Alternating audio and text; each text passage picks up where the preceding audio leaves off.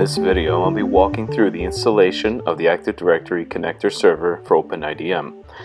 This consists of three pieces, the .NET connector server, the AD connector DLLs, and finally, the AD provisioner file.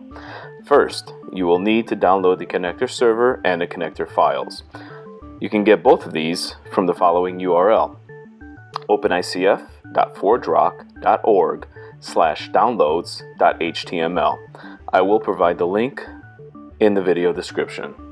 With the files downloaded to my server, let's install the connector server by using the wizard-based installer, followed then by the AD connector. After double-clicking the installer file, let's follow the steps to finish the installation. Click Next to the first screen.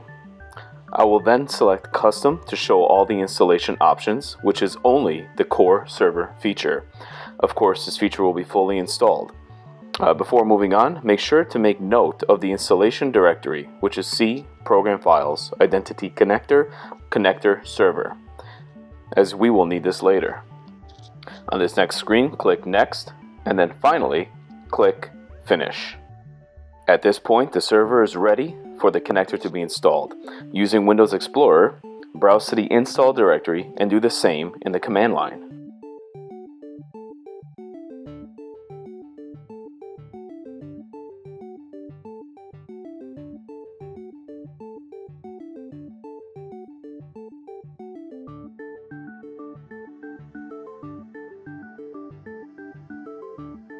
Next, open the zipped AD connector file you downloaded earlier. Select all the files and copy them into the connector server directory in the Explorer.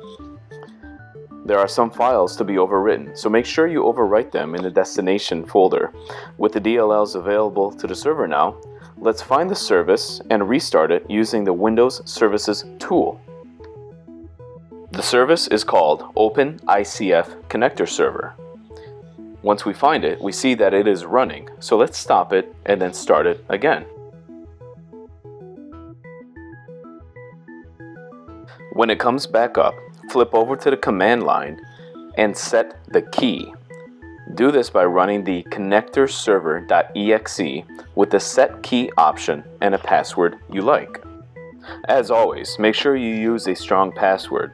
For this demo system, I am using a password of password only because this is a demo system. Never would that be used in a production environment.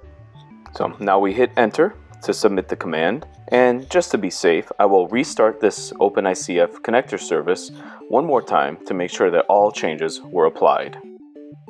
When the server is back up, the installation is pretty much complete. The last thing to do is to check the Windows firewall settings to ensure our ports are open. I will add a new rule for this program and the firewall will automatically allow its traffic over the default port of 8759.